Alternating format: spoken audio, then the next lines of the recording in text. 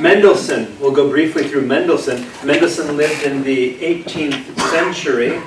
He said, we can prove God's existence, how it is that God is possible. Why? Because if God is possible, and pure possibility is incompatible with the idea of a perfect being, then God must exist because God must be that perfect being.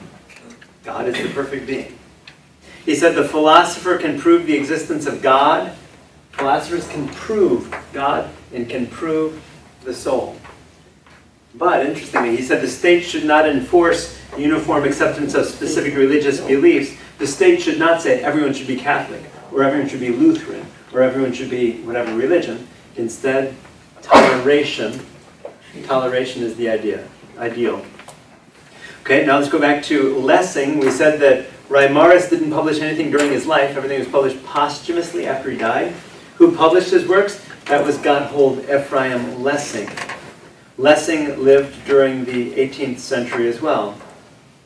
So it was Lessing, who was greatly influenced by Reimarus, who said, no religious system can be proven universal, by universally valid arguments. Do you think you Christians have the, have the true religion?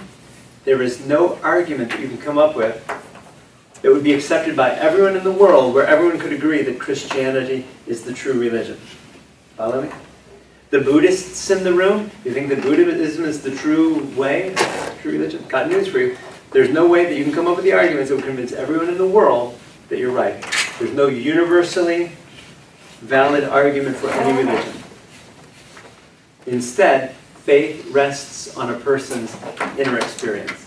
If you're a Buddhist, it probably has something to do with your inner experience. If you're Catholic, if you're Lutheran, whatever religion you are, it probably has to do with whatever inner experience you've had of that faith.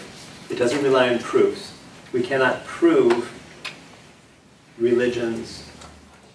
And so he's the one, we remember back from our study of Christology, he made the claim back then, there's a big ugly ditch between historical events think the person of Jesus, who really lived, and universal claims, think Jesus the Messiah, the Christ, the Lord.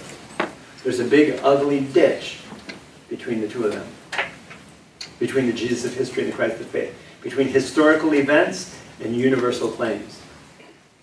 He said, for those of you Catholics who think that the Bible is the Word of God, he said, the Bible is not unquestionable. Meaning, this is going to be the birth of biblical criticism. Meaning, let's take a look at the Bible with a critical eye. Back before, people like Lessing, we just read the Bible and said, well, the Bible says. With people like Lessing now, we're going to start reading the Bible and being more critical, and saying, well, well, who wrote that?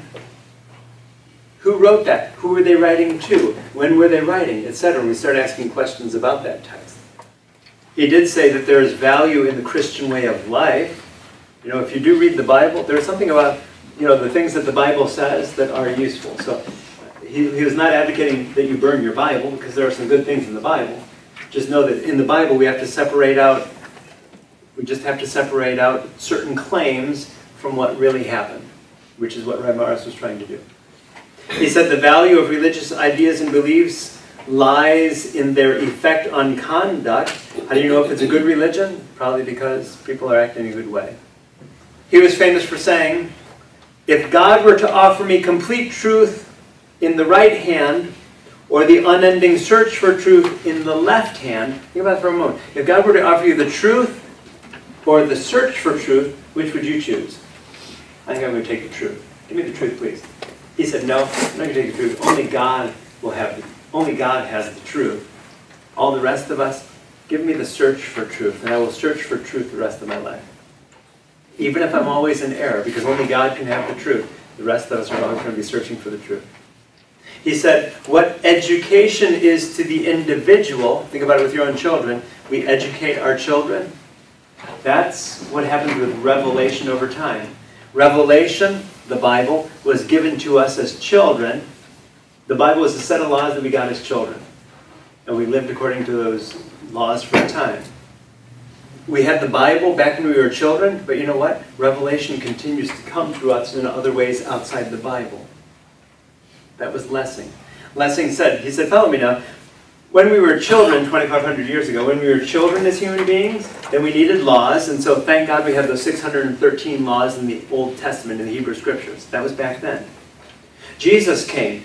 Did we need so many laws? By the time Jesus came, we'd grown up a little. We were no longer kids. Now we were like teenagers, youths. Okay? So do we need all those laws? No, we didn't need so many laws. So Jesus gave us two laws and motivated us with, with other things. Instead of like, instead of uh, saying that he would punish us by turning us into a pillar of salt, right? He motivated us with things like the thought of heaven. But then, Lessing said, think about it now. We've gone from that, the Old Testament, to that, the New Testament. But Revelation continues to come to us, it's sort of like the educating of our children. Now that we're adults, we need a new gospel, a new law of how we're going to get along and what's right and what's wrong. And in this new law, we're not going to be good because of going to heaven or because we don't want to go to hell. Instead, we're going to be good for goodness sake. We're going to be good because we want to be good, not because of heaven or hell. So that was Lessing. Those are some scary waters that we walked into there because as a church, when you start saying that the Bible is not necessarily the Word of God, but is open to criticism, then suddenly we can start opening our Bibles and start critiquing what we read there.